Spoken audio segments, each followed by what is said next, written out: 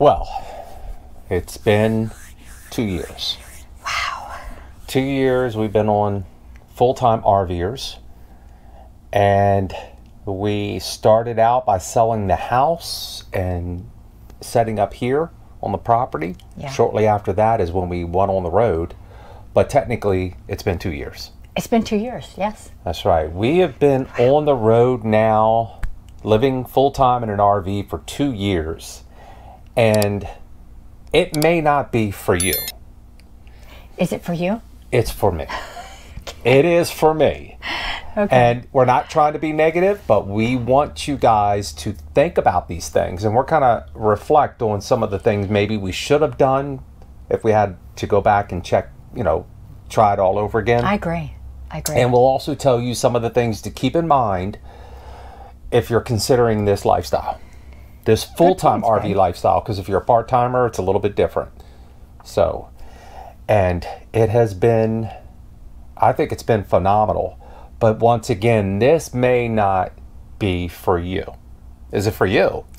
it's it's for me, but I have a couple things there that I probably would have done differently. Well, let's talk about those things. And I guess the most important thing, the, the most important thing before you decide what RV you want to get is your budget. Oh, the budget. Yes. And this lifestyle is expensive. It is. now, Especially when you have, you know, it's, th- there's a lot going on here. There's a lot to maintain and take care of. No. Ah, just kidding. But there is. That's the and with today's climate, the economic climate, things are that much more difficult. I, go, I mean, that, that just kind of goes without saying. And uh, we have discussed this in other videos before. And unless you're really want to do your homework, delve deep into boondocking and memberships that can save you a lot of money, but you're foregoing, you're giving up certain amenities and comforts that you may have in your home yeah. that you you know you enjoy in your home. It's expensive. It is expensive, and I, I think that I, I think that for us, we did a budget, and we're not even going to talk about our budget because our budget's a hot mess. Be, to be in, in all fairness, it is. But we we set a budget, and we were we were not that far off. We were off, but we weren't that far off. But now, because of things that are going on, like Chris said, that we can't stick to it. There's no way. And the thing is, there's no more income coming in. So we have to forego some things to make the budget work now. Now I know some of you may think, well, there's no you, you guys have a YouTube channel. You're probably the money's coming in. No, don't. We it, wish. it doesn't work that way. We wish. we d- I do have a retirement pension, Yeah. and or that's a set amount, and we try to stay in, into that, and that doesn't work out. Ever. We're not good when it comes to doing a budget. There are others that are better than us. We're we're admitting that, but we we know enough to know to tell you it's expensive. Well, and one of the major things in the budget is the cost of groceries. I don't care where you are, groceries have gone up. We have foregone going out to eat quite often now recently because we're like, it's just too expensive. Even for lunch, it's too much. If that's one of the areas we've cut back on in terms Mm-hmm. of RVing, because in your mind you're thinking, I'm going to go out and travel, and I'm going to go out and into these restaurants and Local everything, cuisine. and it's great, and it is fantastic. Yeah. But with the th- way things are going right now, we've had to drastically cut that back, Big time. big time, and that's just for us. That may not be for you. You may be able to handle that, and that's just the reality of it. So if you're going to go full time, get it out of your mind that you're going to go out every night and enjoy The local cuisine. Yeah, Right. Yeah, and as as great as that is and fun that is, you just gotta you gotta let that get go and just There, commit yourself to cooking out, cooking in in the in the RV. Right.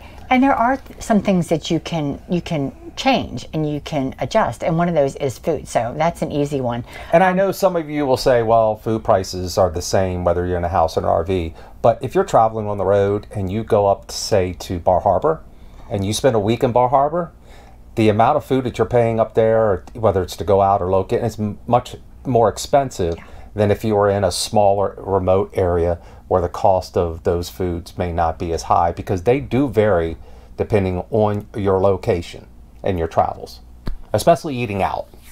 Yes. And it, whether it's eating out at a fast food joint or a nice restaurant, those prices will, you know, try going to a nice restaurant on, on the uh, uh, in the at the beach area as opposed to in the middle of nowhere and see what you come up with. That's true. Um, the other thing is gas. I mean, if we want to travel where we want to travel, we have to take into consider- consideration fuel or gas, depending what we're driving that time. So that has put a little bit of a damper on us. Also, we have chosen not to travel some places that we were going to travel to because the price of fuel right now, and it just is what it is. But for us to try to even get close to budget, we have to give up some things. So and that's just, to- reality. To, really quick to summarize, we're not going to delve deep into the break it all down for you. That's not why we're doing this video. The budget is the most important thing, obviously. And whether it's the budget for your food, your stay, or your RV, keep those things in mind. It's not cheap. And we've been very fortunate. We haven't had any major issues with either one of our rigs so far um, at all, like not even close. But we have to always keep that in mind. It could happen. So we have to make sure that we have some kind of funds put aside Yeah. to take care of that. You got to have an emergency fund. Mm-hmm. So make sure you set aside a, a- an extra amount of money for emergency funds and in case something comes up. Right. So Like, like Katrina's birthday. another thing would be just the travel itself. Finding the better spots, the nicer locations, the fun locations, it's not that easy. It you got to know the little tricks of the trades. You got to know to book out ahead of time. You got to know Hold to on. And by ahead of time, you mean up to a year in advance. Yes. Okay. Yeah, you got to know these things. You got to understand that to want to, if you're up in Ohio and you're going down to Florida, you can't. It's it. It's not impossible. Don't get me wrong, but if you're you're looking for a place, you got to book out a year ahead of time. Now, I've noticed over this last year, not the first year so much, but the second year, I've noticed that there are more spaces available. But it seems to me at the nicer resorts, the more expensive. When you're trying to get into Well- the state parks and the, the lesser expensive places, they book out extremely fast. So that's another thing to keep in mind. If we know our route, we almost have to book, if we can, at those places because if not, we're going to have to book at a resort. We just had the example we were in Niagara and we had to do that last minute, so we had to stay somewhere very expensive, and that eats into our budget. Now, so keep that in mind. If you're going to travel, you're going to go full time, and you're traveling, you need to plan out a, a year ahead of time. Are there things that you can do, especially if you're boondocking, you could do at the last minute?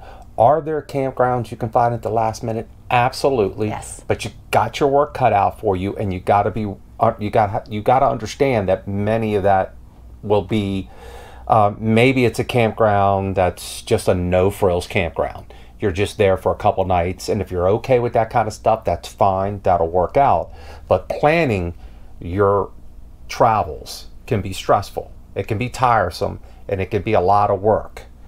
And you include memberships in that; those things will help you out. Whether it's a thousand trails, whether it's a Passport America, and I do believe KOA also has a membership program you can become part of. They have the rewards. So plan, there's yes. there are all those things that you can do, but it it it, it does it's not as simple as just going online and or picking up the phone and going, I want to stay there.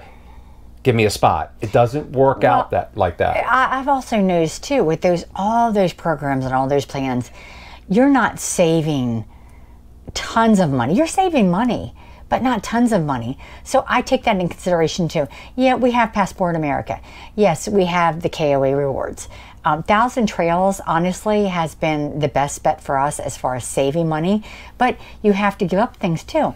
There's a few that we've stayed at. They're absolutely phenomenal. They're wonderful, and we would stay there again and again.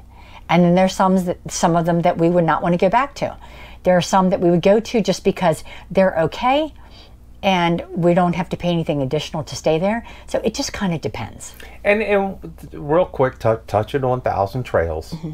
our overall experience of Thousand Trails has been pretty positive. It We, cha- we changed our mind. At first, we thought this is not for us. We're not going to be able to do this. And the reason why is because the first two we stayed at were, were not very good. Uh, but uh, you know, you hear those horror stories, but I think overall we've been happy with it, and it's been worthwhile for us to keep it. We no crazy bad experiences. So, once again, be be willing and uh, to commit yourself to planning ahead. You know, a year ahead of time, if not even longer, to make those travel plans. Now, you can find a place to stay if you want to go someplace and stay for three, four months. You can do that as well. But that kind of, for me, that kind of defeats the purpose It takes away from uh, of the being on the road RV. yeah our adventure our adventures. You know we've done that. We've stayed at places for a month or so here or there. And about after the fir- the first week or two we're, we're itching. We're like we're ready to go. We don't want to you know we're not because we're not staying somewhere like a beach resort for two months okay? So Right. you know we're, we're ready to go. So I would also say keep in mind another thing that may not be for you is the tight quarters when you go someplace. You can be on top of one another. Uh, you do can you, mean, have your do you neighbor. mean like your neighbor or you and i your neighbor could be much closer to you. Well, that yes, your yes, your your neighbor can be much closer to you than what you think, than what you're used to at your sticks and bricks. Be prepared for that. Be prepared to see things or hear things or experience things that you may not experience when you're at home or it, it's, it may not be as bad. Well, the other thing is that is a big issue now with a lot with us and a lot of our friends are the lights. There are some RVers that like to keep all their string lights and their rig lights on all night long. Really, in our opinion, you should turn those off when it becomes quiet hours, but they leave them on and that makes it more difficult to sleep in. Or, or it could be something as simple So- as you know the dog barking or the dog running around or Chris snoring. Um, so those are things you need to be aware of and be mindful of. They may not be for you. no. It doesn't. We've had we've yet to have any crazy major experience. It's been We've had minor. lights. We've had lights. That's about it. Yeah, but it's been minor. That uh, you know, as far as neighbors go, we Mm-hmm. uh, maybe we've just been lucky because you hear these horror stories. I don't know, but so far it's been working out. It's It's, true. We don't we don't have any really crazy. Oh my gosh, the blah blah blah happened. We don't have any of those. And I'm not one to get bent out of shape by having a neighbor park, you know, 20 feet away from me or 10 feet away from me at a campground mm-hmm. because I enjoy the campground RV park mm-hmm. experience. I personally like it as opposed to others who prefer boondocking. So if you're one that is up for boondocking, you're interested in boondocking, you can get out west and go to some remote places and be by yourself and that, that sounds places. spectacular. That sounds awesome as well. So it's something else you may want to take keep in mind when it comes to full-time RV living. It may not be for you. Another one for me myself is the RV. Did we did we choose the right RV to begin with? Because you know, we had traveled part time before we started this full time adventure, and we were almost pretty much for sure this is what we wanted. Now we're thinking, was that definitely what we wanted? I don't know. Well, I definitely wanted a Class A RV. it was- it Maybe was- it comes yeah. down to the model and the style and the layout, True. and that's something that seems to happen a lot. and this and the size and our first one was a gasser and then we went to the diesel pusher because chris wanted diesel pusher and then i wanted like a bath and a half. So we kind of compromised and we you know we bought at when it was like the peak and everybody else was you know looking for rvs and you couldn't find exactly what you wanted. So you're like okay we'll figure out which one we'll, we would compromise on and that's what we did. We actually really like this rv we've had no major issues but i think looking back chris you would go a little bit shorter right Well, I wanted something shorter to begin with, but it, this is something that a lot of RVers will go through, and they will start out in one style, and within another year go to another style, and a year later go to another style. It's not uncommon. It's understandable in a way. Um, maybe from an outsider's point of view, they're like, "What are you doing? Why are you doing this?" But Right. once you get on the road and you start traveling and you start going through, you you kind of see yourself being in another rig. Can I do that? Can I do this? And it, it's I think it's a natural kind of thing to go through. Well, our travel has changed too.